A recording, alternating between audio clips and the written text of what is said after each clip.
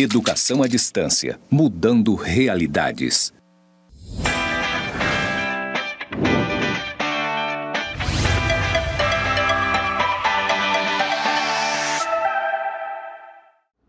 Olá, tudo bem com vocês? Eu sou a professora Natasha Alexandrino e eu falo aqui do estúdio do IFRO, campo, campus Porto Velho, Zona Norte. Atrás de mim tem uma parede escrito EAD Mudando Realidades e eu sou uma pessoa branca, uso óculos, estou com uma blusa branca, um colete preto e uma calça preta. Então, feita essa apresentação, vamos começar a estudar direito do trabalho, pessoal.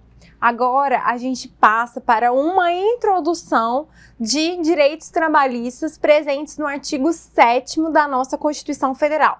Vamos ver o que, que diz a CF, gente? Olha só. Essa é a nossa Constituição Federal de 88, que pode aparecer por aí como CF ou Constituição Federal da República Federativa do Brasil. E ela é, tem uma parte do, que vai tratar dos direitos fundamentais, lá no artigo 5 né, principalmente, direitos e garantias fundamentais individuais. Depois, no, no artigo 6 vocês vão perceber que a Constituição Federal vai falar dos direitos sociais, que também são uma espécie de direitos fundamentais. E no artigo 7 olha aí, no artigo 7 a CF vai falar dos direitos sociais relativos aos trabalhadores. E eu devo mencionar aqui um avanço que equiparou, no caso, esses direitos tanto para os trabalhadores urbanos quanto para os trabalhadores rurais, tá? Olha só que legal. Então, Antes de tudo, eu devo dizer para vocês que os direitos sociais, eles são direitos conhecidos como direitos de segunda geração ou segunda dimensão, tá? Eles, eles têm relação, por exemplo, com a igualdade substancial, né? E também com o fato de que, segundo o direito, a gente tem que tratar as pessoas com isonomia, né? Claro, mas essa isonomia, além de ser a isonomia formal, é a isonomia material, que é justamente tratar os iguais de forma igual e os desiguais de forma desigual na medida da sua desigualdade. Então, neste contexto, nós temos os direitos trabalhistas e desde já também eu preciso dizer que a relação entre empregado e empregador muitas vezes é uma relação de tensão em que as partes não estão numa posição de igualdade. Então, de igualdade substancial.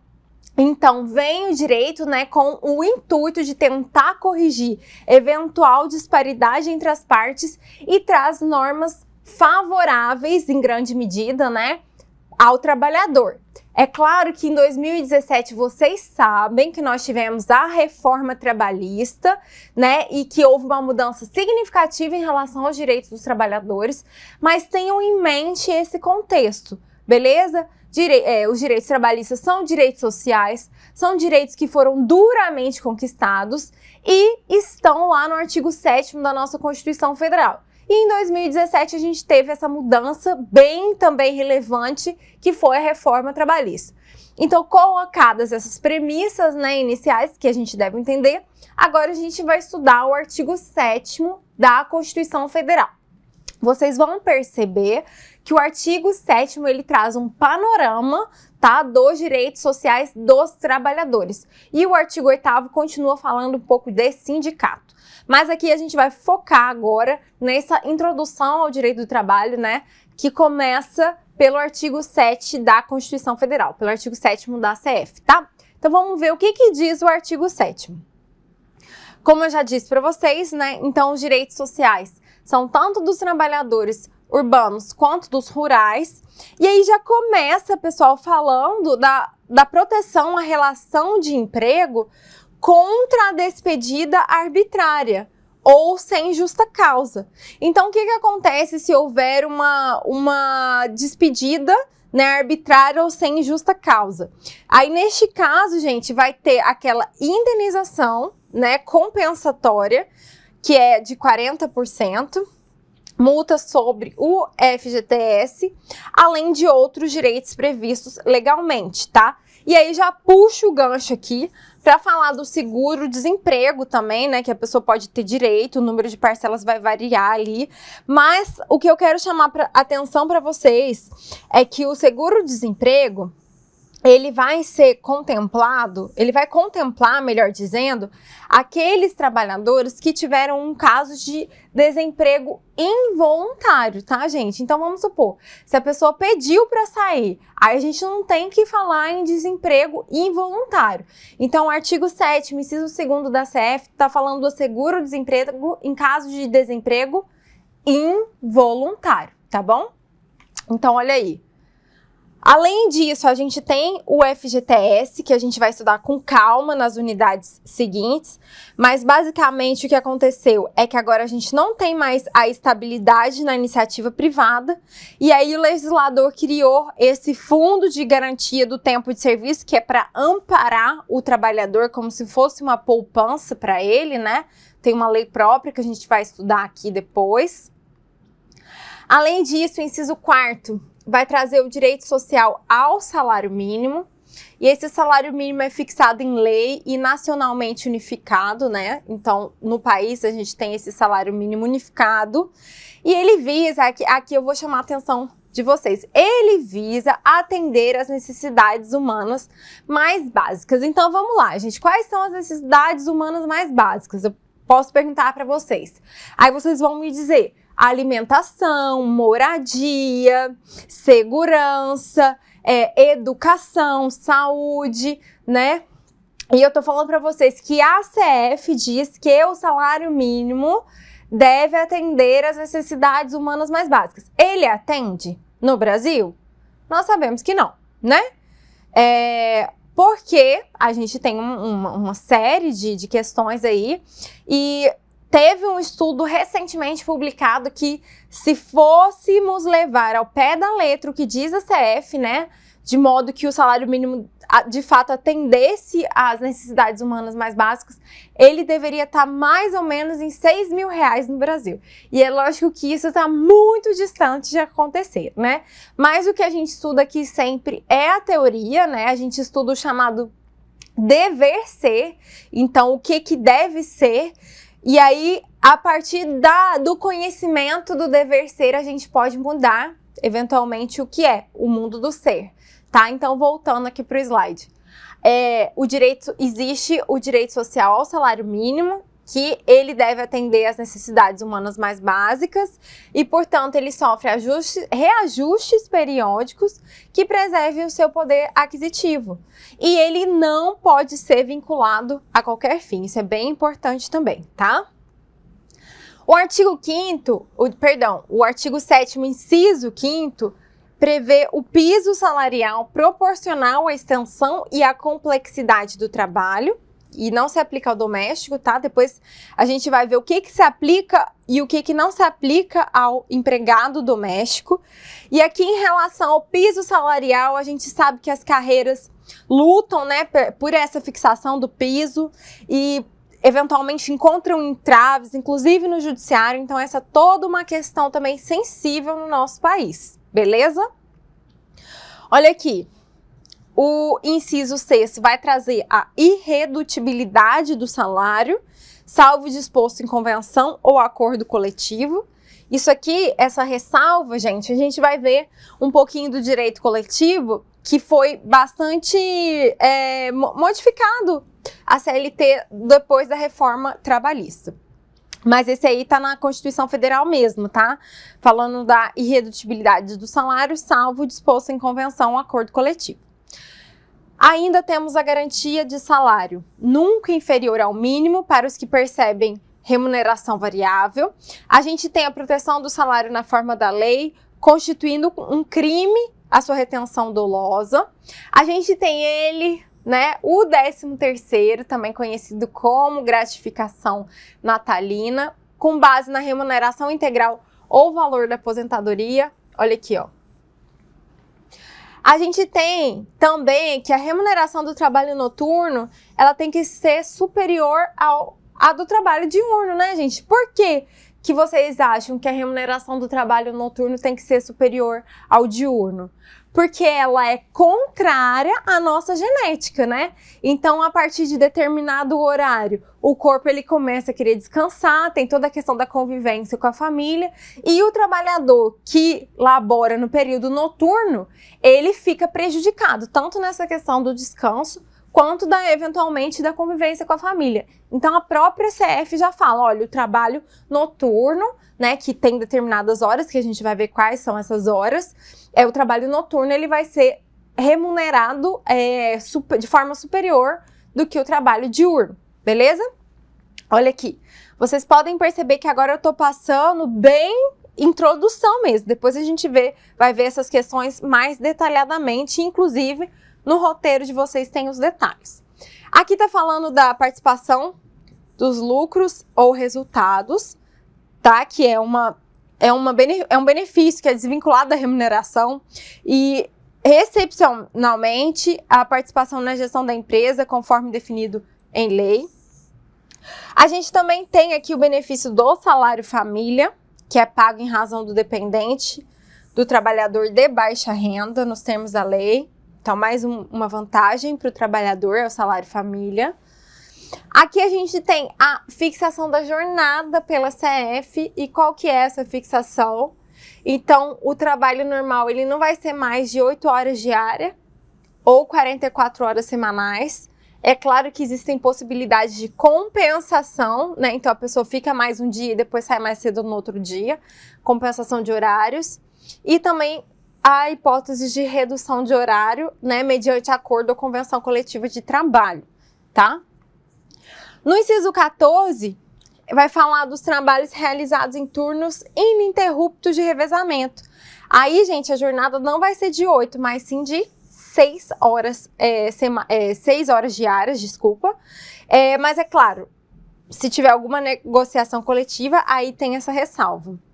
Aqui, vejam, no 15, a gente tem o repouso semanal remunerado preferencialmente ao domingo. Preferencialmente. Pode ser outro dia? Pode.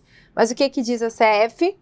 Preferencialmente, esse repouso semanal remunerado, claro, vai ser domingo. A gente bem sabe disso, né? Que pode não ser, mas preferencialmente será aos domingos. Aqui, gente, no 16, a gente tem a remuneração pelo serviço extraordinário, tá? Então, a pessoa lá fez o, o serviço extraordinário, passou do, do período de jornada de trabalho, ela vai receber, no mínimo, uma remuneração adicional em 50% à remuneração normal, tá? No mínimo, mais 50%. Além disso, a gente tem aqui é bom, hein, gente?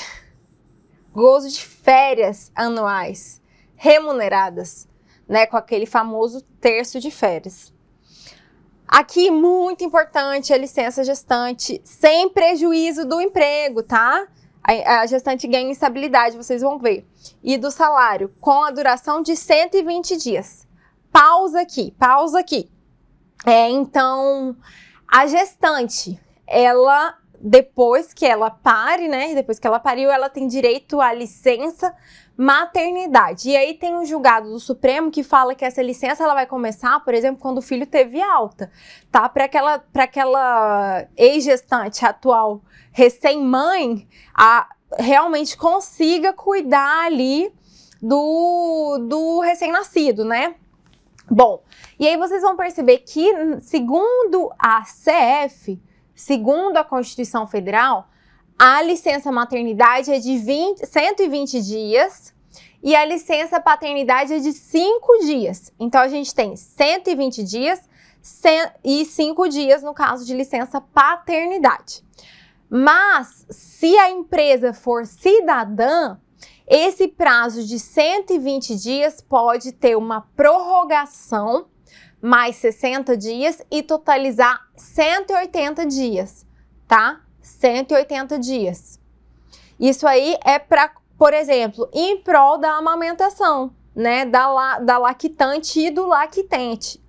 E em compensação, a licença paternidade pode aumentar de 5 dias para 20 dias, tá bom? Mas, por exemplo, se vocês se depararem com uma prova que estiver pedindo a letra da Constituição Federal, vocês vão perceber que lá fala que licença maternidade é 120 dias e licença paternidade é 5 dias. Mas o que acontece na prática, né, é que as empresas cidadãs, elas permitem essa prorrogação da licença maternidade por mais 60 dias, totalizando 180 dias, e da licença paternidade por mais 15 dias, totalizando 20 dias. E desde já também lanço essa reflexão para vocês: a discrepância entre o número de dias da licença maternidade, né, que vamos colocar aqui seis meses, né, mais ou menos, dá uma diferencinha, mas mais ou menos seis meses, é, e 20 dias é muita diferença, né? Então a gente sabe que existem países desenvolvidos, né, os chamados países de centro, que já estão reformulando essa situação e fornecendo licença maternidade de um ano, seis meses para a mãe, seis meses para o pai, uma situação mais igualitária, porque a gente sabe também que cuidar de um filho é muito difícil né? E muito, exige muito é, trabalho mesmo da pessoa. É um trabalho, né? Que é, hoje em dia até é chamado capital invisível de quem cuida dos filhos. E aí, também fazendo um, parêntese, um parêntese sobre essas questões, recentemente houve uma decisão do Tribunal Espanhol que concedeu ali para uma mãe que exercia a função do lar, ou seja, é, criação de filhos e sustento da família por meio desse capital invisível, né? Que é você criar um cidadão, né? Você investe seu tempo e muitas vezes você deixa de se qualificar, deixa de trabalhar para fora, né? Para estar tá ali no âmbito doméstico, então reconheceu o trabalho doméstico como trabalho. Então é muito legal, gente, nessa web aula e nessa e nas próximas, trazer pontos para vocês refletirem. Porque, mais uma vez, é, o material, ele é o nosso roteiro, que é mais completo, né? E principalmente a leitura que eu indico para vocês. Tá? Então, além de toda essa questão de letra da lei, de conhecer o que diz o artigo 7 da CF, eu quero que vocês também conheçam as discussões mais atuais que envolvem o direito do trabalho, tá bom? Que são essas que eu acabei de mencionar. Seguindo, Aqui, então, a gente tem a previsão da licença paternidade, todo esse contexto que eu já mencionei para vocês. Além disso, também no tema mulher, a gente tem essa, essa previsão de proteção do mercado de trabalho da mulher mediante incentivos específicos nos termos da lei. Tá, olha só, gente, que, que situação também recente. Recentemente, em 2021, a gente teve a aprovação da nova lei de licitações e contratos administrativos. E em 2023 houve a regulamentação, né, para mulheres que sofreram violência doméstica serem inseridas ali no âmbito das licitações e contratos. Então, isso é um exemplo do que eu acabei de citar para vocês, né? Que a própria Constituição Federal dá essa atenção especial para a situação das mulheres porque nós sabemos, por meio de dados, né, de, de, dados de pesquisas que temos esse problema não só no Brasil, mas no mundo. É claro que em alguns países mais e em outros países menos, mas é, no sentido de desproporção salarial, né? Então pode acontecer de uma mulher é, exercer ali o mesmo trabalho do, do, do seu colega homem e receber menos. E isso, gente, é vedado. Então tenham muita atenção a esse tipo de situação na prática, tá? Em alguns momentos aqui eu vou falar para vocês o que, que acontece na prática e o que, que tem que ser evitado. Então, o que eu acabei de mencionar, né, é essa diferença salarial, né, com base em, em gênero, ela não pode, ela é vedada. Raça, não pode, tá? Orientação sexual não pode. A gente vai ver, inclusive, que está na Constituição Federal. Olha aí. Então, a gente tem no inciso 20 a proteção do mercado de trabalho, né, com essa atenção para a mulher. E aí vocês podem se perguntar: nossa, mas não é discriminação? Não é discriminação você é, elaborar políticas públicas específicas, por exemplo, para as mulheres, para as vítimas de violência doméstica, para o MEI, exemplo? Não, é, bem, essa questão, lógico, nada é tão simples quanto parece, né? Eu vou apresentar para vocês um ponto de vista, existem outros e que vocês devem conhecer todos e, e escolher o que mais e, é, tem uma identificação. Mas qual que é a ideia jurídica, né? Que é permitido esse tipo de discriminação positiva, que é justamente para corrigir equívocos materiais né, do mundo dos fatos. Então, se a mulher sofre discriminação, nada mais adequado do que uma discriminação positiva para ali naquela corrida tentar dar uma equiparada aí e ela ter melhores condições de competir, melhores condições de trabalhar, né? E salários dignos também, né? Então essa é a ideia. Aqui, gente, voltando para o slide, a gente tem o aviso prévio, que é um direito social, e a gente vai estudar como que ele se dá na prática, tá bom? Mas desde já adianto que ele vai ser proporcional ao tempo de serviço e, no mínimo, 30 dias e no máximo 90 dias, beleza?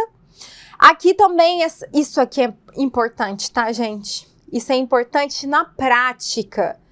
Então, qual que é a ideia? Você tentar reduzir os riscos inerentes ao trabalho por meio de normas de saúde, higiene e segurança do trabalho. Então, por exemplo, os equipamentos de proteção individual, as normas de os equipamentos, as normas né, de higiene do trabalho, de segurança, é o, é o famoso meio ambiente do trabalho.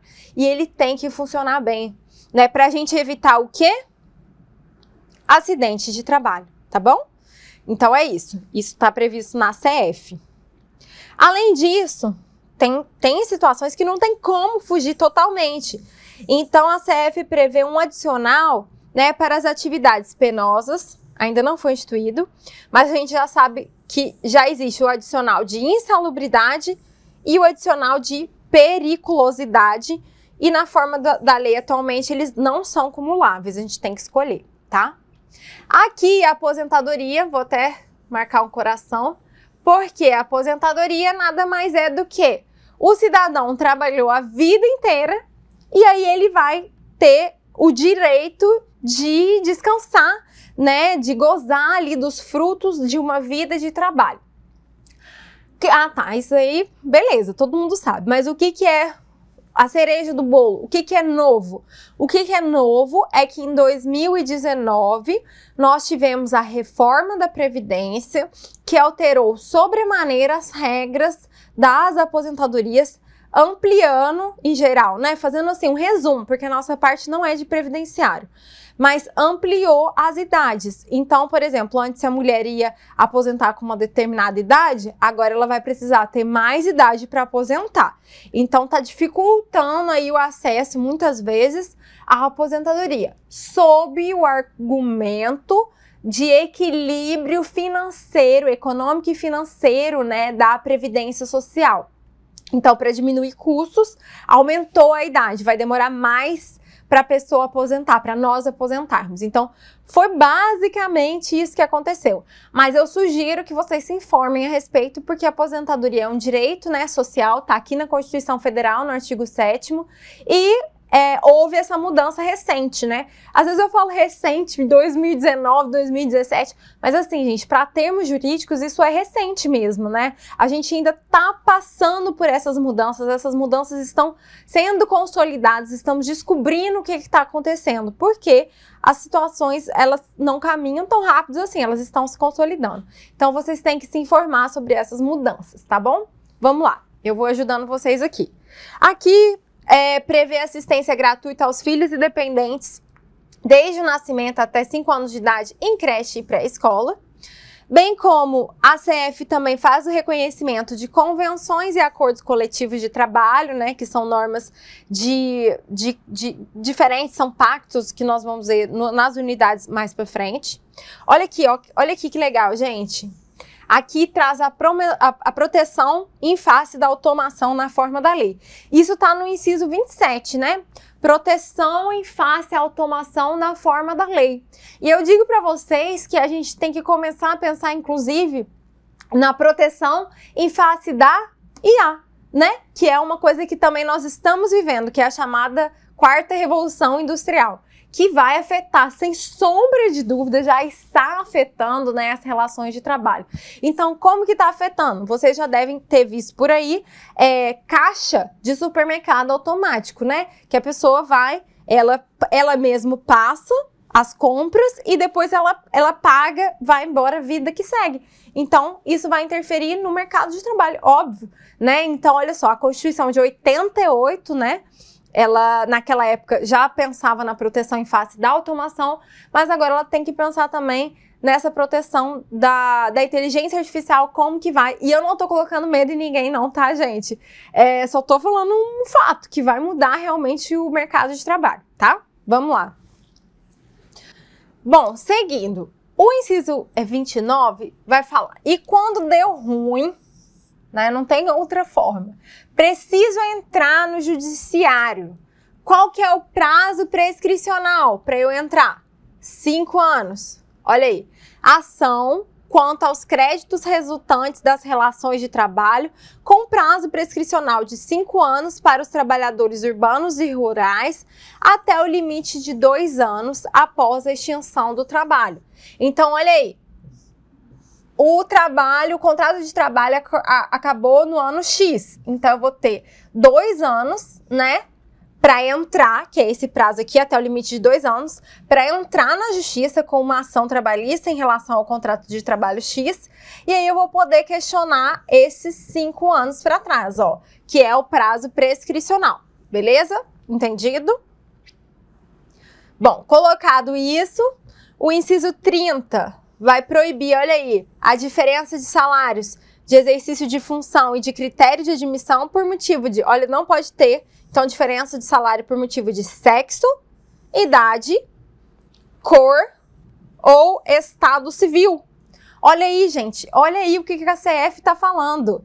Ela está falando o seguinte: se o cidadão faz a mesma função que o colega, ele não pode sofrer uma diferença salarial em razão do sexo, ou seja, se ele for mulher ganhar menos, se ela for mulher ganhar menos, em razão da cor, em razão da idade, que a gente sabe que pode acontecer, lamentavelmente, né, aquele preconceito que hoje em dia recebe o, o nome de etarismo, que é uma discriminação das pessoas mais velhas, pode acontecer, né, em razão do sexo e do estado civil, tá? Então, a Constituição fala, não, não faça isso, ó.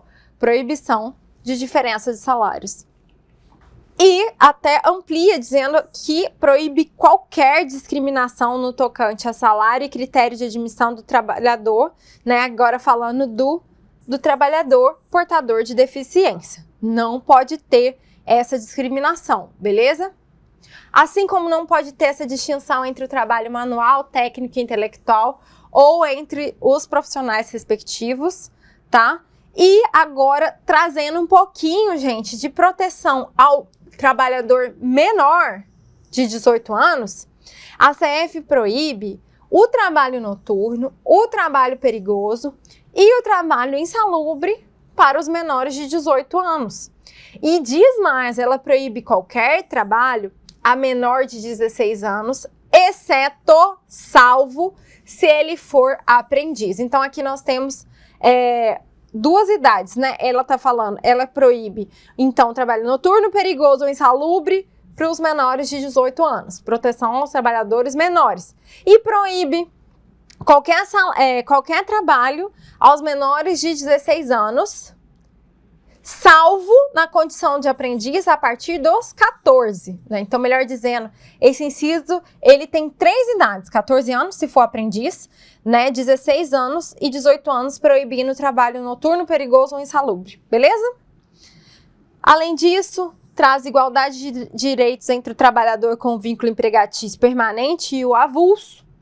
E, finalmente, o parágrafo único do artigo 7 vai estender, né, aos, às trabalhadoras e trabalhadores domésticos alguns direitos que eu coloquei aqui que vocês vão ler com calma, né? Isso adveio da chamada PEC das domésticas, que alterou a Constituição Federal em 2013 e acrescentou, é, estendeu um rol de direitos a elas e eles, trabalhadores domésticos, né? Tá, todos do artigo 7 Não, não. Estendeu o salário mínimo, irredutibilidade de salário, uh, o décimo terceiro, enfim, todos esses que estão aí no slide que vocês vão ler com calma, né? A jornada, muito importante. O repouso semanal remunerado, a remuneração por serviço extraordinário dos domésticos, né? Férias e o terço de férias, a licença gestante, a licença paternidade, aviso prévio, etc, etc, etc, tá? Leiam com calma o que que se aplica do artigo 7 aos trabalhadores domésticos. Olha aí. Então, atendidas as condições estabelecidas em lei e observada a simplificação do cumprimento das obrigações tributárias principais e acessórias, né, é, tá falando do e-social. É, e suas peculiaridades, também os previstos nos incisos. Então, tá falando o que, que é aplicado aqui aos trabalhadores domésticos, né? Despedida arbitrária, proteção, a multa de 40%, seguro-desemprego involuntário, vai receber seguro, FGTS, né? Remuneração noturna, salário família, creche, seguro de acidente de trabalho, etc, etc, etc, tá? Agora, então, que a gente viu é, o artigo 7 da Constituição Federal, a gente vai entender os princípios do direito do trabalho. Gente, o que, que são princípios, né? Vocês que eventualmente não são da área do direito. Princípios são normas jurídicas que podem ser explícitas ou implícitas, mas o fato é que elas são normas jurídicas que devem ser cumpridas na maior medida do possível. Como assim? Né? Quer dizer que pode acontecer uma colisão entre princípios. E aí vai prevalecer ou um princípio X, vamos supor, uma colisão entre o princípio X e Y. Vai prevalecer X ou Y. Mas a ideia é que eles sejam aplicados na maior medida do possível, tá? Isso recebe um nome que é, eles são mandamentos de otimização. E quem, quem, quem tem uma teoria bastante consolidada no mundo a respeito dos princípios como normas jurídicas é um justo filósofo alemão que se chama Robert Alex. Inclusive, a minha dissertação do mestrado foi em relação aos direitos sociais e o meu marco teórico foi justamente o Alex tá? Que traz todas essas definições de princípios como normas jurídicas e mandamentos de otimização. Então, feita essa introdução, né, do que, que são os princípios, basicamente são normas jurídicas, a gente vai estudar agora os principais princípios do direito do trabalho, tá bom? Vamos lá ver no slide. Primeiro, como eu disse, aqui no direito do trabalho a gente tem uma relação de desigualdade, né? Eles não são equivalentes o empregador e o empregado. Então, vêm os princípios e tentam corrigir essa falta de equivalência. E aí, gente, a gente já começa citando um importante princípio protetor ou de proteção, né? Que percebe que essa relação tem uma desigualdade natural e que, lógico, que diante desse princípio, o empregado que é a parte vulnerável da relação. Isso implica dizer que o princípio da proteção busca equal, justamente equalizar essa diferença em benefício de quem? Da parte vulnerável, tá? Quem fala isso é o Américo Plá Rodrigues, que diz, inclusive, ele detalha ainda mais o princípio da proteção, dividindo-o em princípio da condição mais benéfica ao trabalhador, princípio da norma mais favorável em favor do trabalhador e por fim, do indúbio pró-operário ou pró-mísero, que nada mais é do que o trabalhador, tá? Seguindo, a gente tem o princípio da irrenunciabilidade, que é justamente o fato de que o empregado não pode nem renunciar e nem dispor dos seus direitos trabalhistas, tá? Mas, gente, princípio não é absoluto. Então, o princípio da indisponibilidade, por exemplo, ele tem uma exceção. Então, o trabalhador pode até renunciar do aviso prévio quando ele já tem outro emprego. Isso está numa súmula 276 do TST. Ai, professora, súmula, o que, é súmula, pelo amor de Deus? Gente, súmula é o um entendimento jurisprudencial desse assunto. E quem marca a jurisprudência né, no direito do trabalho é o Tribunal Superior do Trabalho, TST, tá? Então, olha só como é que o estudo tem que ser. O estudo tem que ser da, da doutrina, né, que são esses livros que eu indiquei no roteiro, também da CLT, mas também temos que entender as súmulas e OJs e os entendimentos. A OJ é a orientação jurisprudencial do TST, beleza? Seguindo. Aqui também o princípio da continuidade da relação do emprego, né? Então, antigamente a gente tinha uma, uma estabilidade decenal, né? Então, depois de 10 anos, aquele empregado, ele tinha estabilidade, mais ou menos como tem os servidores públicos, mas essa estabilidade decenal, gente, acabou, tá?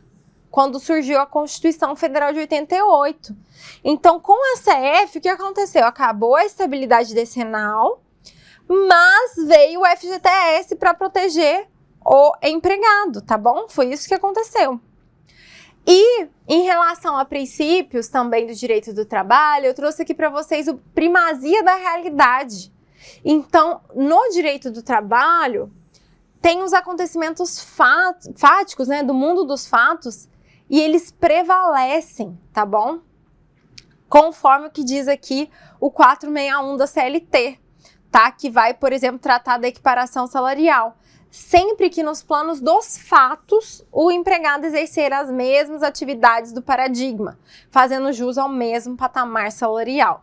Então, a equiparação salarial nada mais é do que uma manifestação do princípio da primazia da realidade, tá bom? Mas é lógico, gente, que a realidade ela não pode violar a legislação, né? Porque senão a gente tem aí uma má fé. Então, vamos supor, se um servidor público ele passe para o concurso de técnico, mas aí ele vai lá e faz, é, as, ele faz as funções de fato de um analista, né, num desvio de função, mas ele não vai poder receber mais por isso porque seria uma fraude ao princípio da, do concurso público, né? Então, essa realidade, ela não pode violar a legislação, beleza? E aí, aqui por fim, a gente tem os princípios da razoabilidade e o princípio da boa-fé.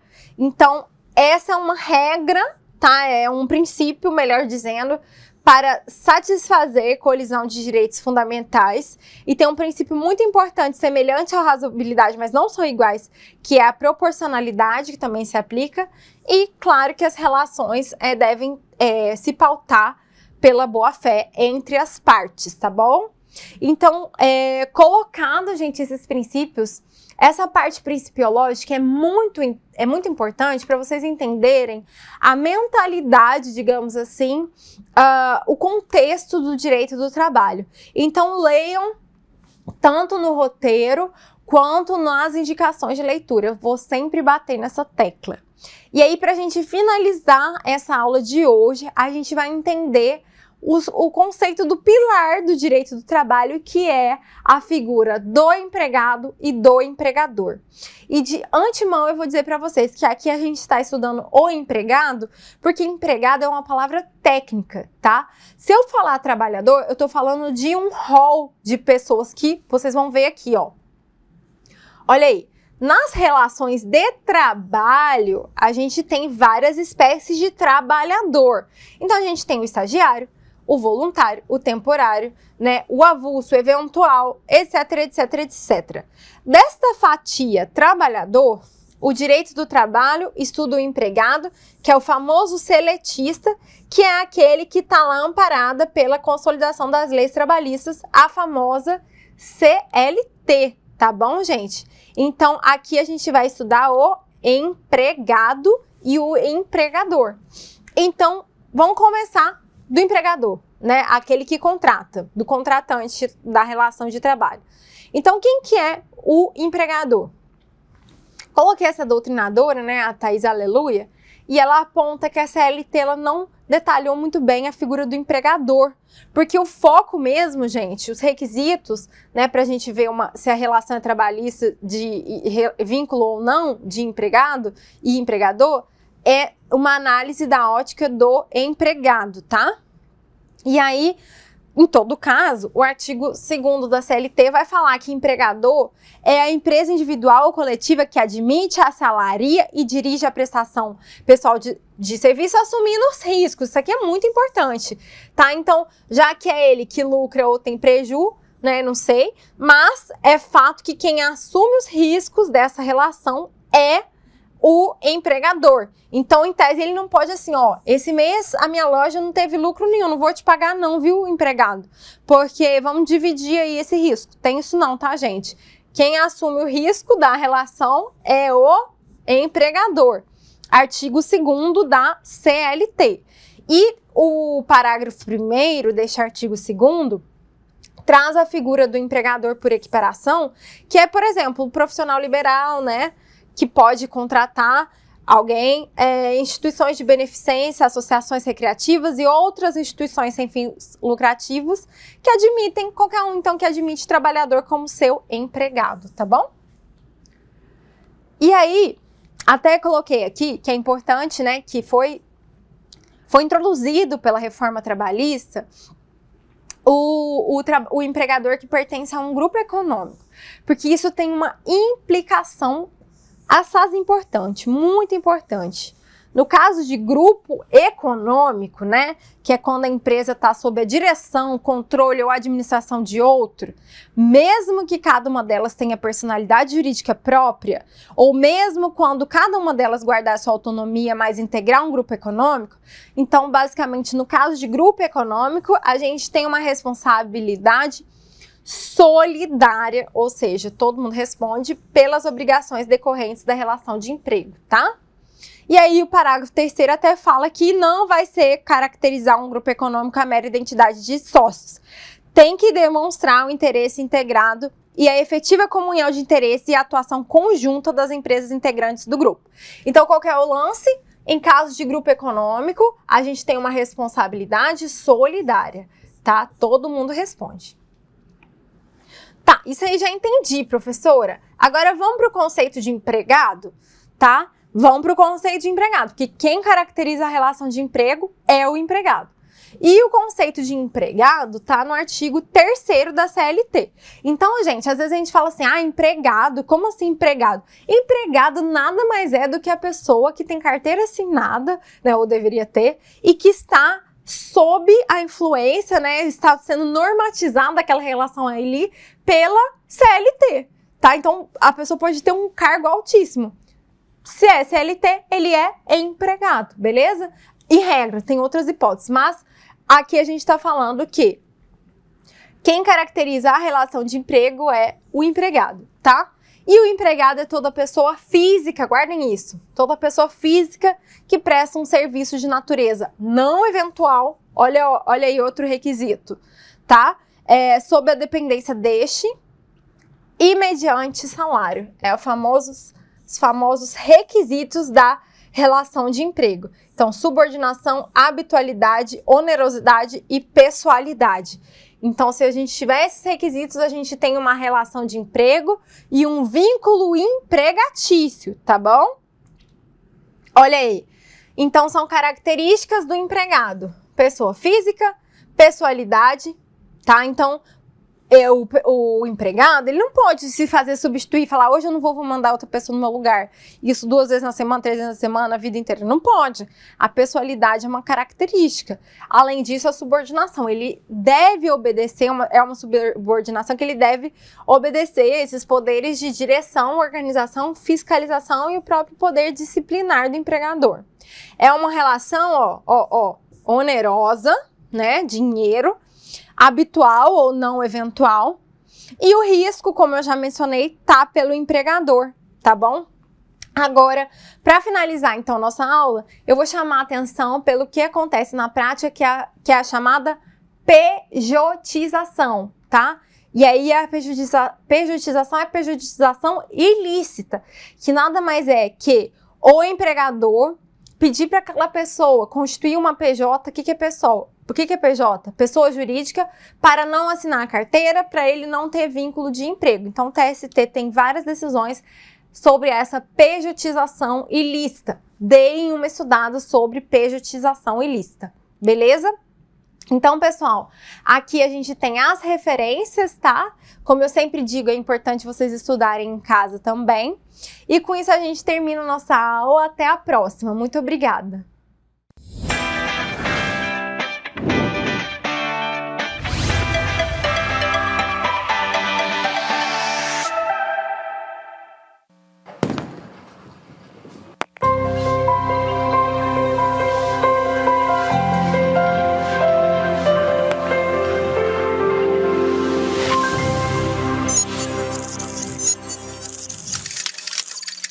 Educação à distância, mudando realidades.